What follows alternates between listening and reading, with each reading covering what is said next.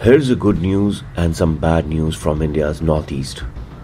Ulfa, which was once the most dreaded proscribed terrorist group in India's northeast, is now losing its hold. Ulfa is known to cooperate with Pakistan's spy agency ISI. Its network is spread in Bangladesh and Myanmar, while its senior cadre enjoys the patronage of China. But thanks to Indian Army and the state government, it is now limited to a small pocket and fringes of Upper Assam. Recent intelligence reports suggest that Ulfa is desperate to make a comeback with assistance of ISI and plans to carry out targeted killing in Assam. This is a strategy that ISI is trying in Kashmir too, after the Pakistani backed terrorist groups were repeatedly pounded into insignificance by the Indian Army and the government. Ulfa says the recent attack on Indian Army's convoy which they codenamed as Operation Lakhi Patthar, was carried out to mark Protest Day, which the terrorist outfit observes on November the 28th. Hello everyone, welcome to Resonant News. Like, share and subscribe and do give us your feedback on the content we post. Ulfa came into existence in the year 1979 with the intention to carve out a separate independent state of Assam. By 1990, it was banned, and between 2009 and 2018, the entire leadership of Ulfa was either captured or had surrendered to the government. A small faction of it survived in China, Myanmar, and Bangladesh under Paresh Barua and was renamed as Ulfa I, where I stands for independent. Lieutenant General Kalita of Indian Army recently confirmed that out of the 35 districts of Assam, Ulfa is now active in just four districts and with a very poor influence over its cadre. Few days ago, an army patrol was fired at by the terrorist in Tinsukia district, which was countered with a heavy volley of bullets by the Indian army.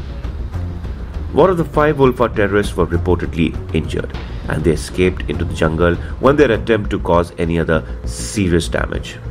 In the last few months, Ulfa has faced public outrage and loss of face. Ulfa killed its own member, like Biju Gogoi, who was the former leader of All Assam Student Union and had voluntarily joined the terrorist group, and two others, Dhanjit Das and Sanjeev Sharma, were given death penalty. All three of them were killed because they were suspected of being spies. A public backlash followed these killings, and Ulfa faced multiple desertions.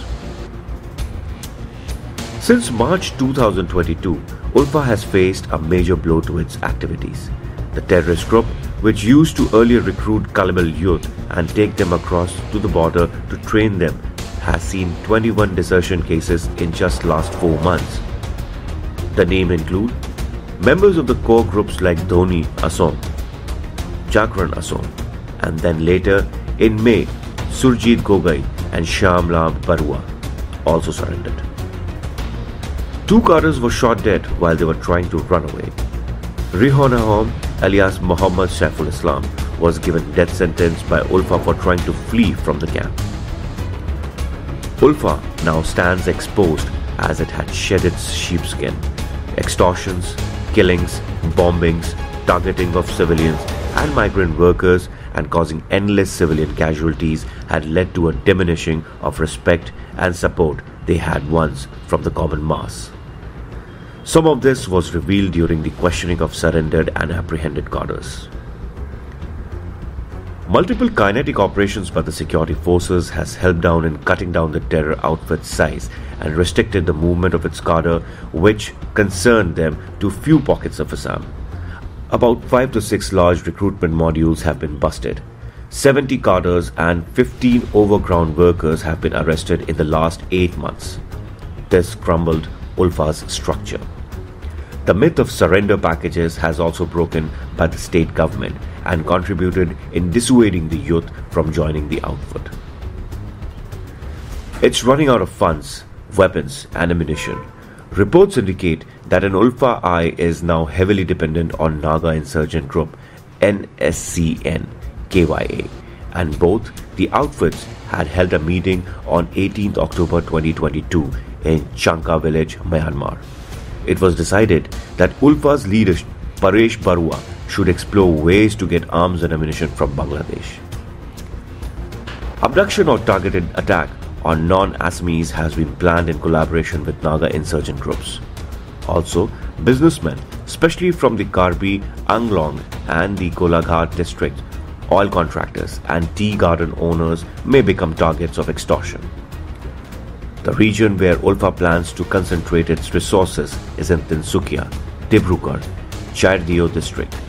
Violence in areas of Upper Assam, Tirap and Namsai and Mon are also possible. Meanwhile on social media, Ulfa has begun active hunting for recruits and churning propaganda against the Indian Army.